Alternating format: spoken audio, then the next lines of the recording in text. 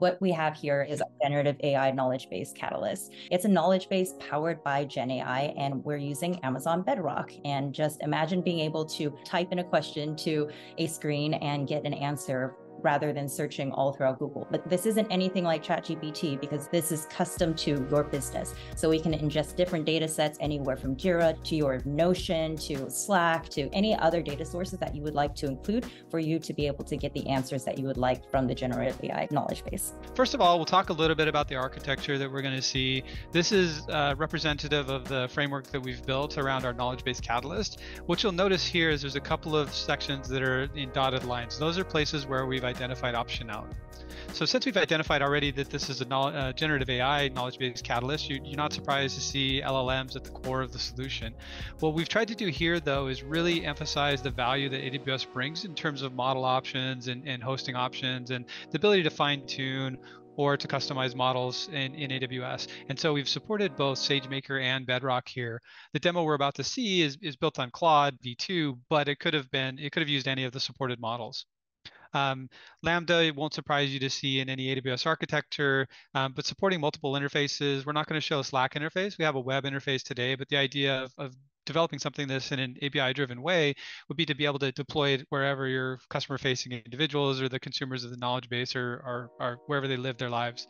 And then on the right, taking advantage of the different vector and document stores on AWS, our demo happens to be based on Amazon Kendra because it was the easiest way for us to crawl our website and use that as a knowledge store.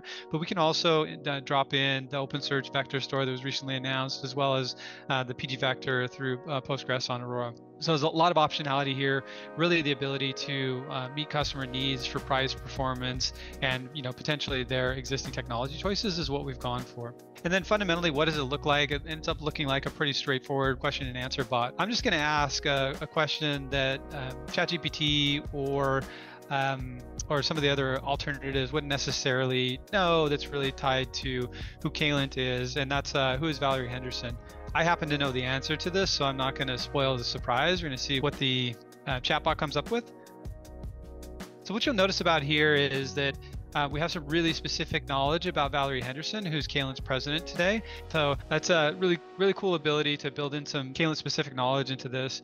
We have additional details. We happen to have obviously crawled the website, uh, and you can show you from the sources here that this this happened to be come from a blog post. Um, the nice thing there is that the way that we built this again, it sources it cites sources so that you know you're getting canonical advice, and you can go to the source itself if you're, you know, if you're happy with the summary but want to know more. If you want to really dig deeper, you can can follow through there.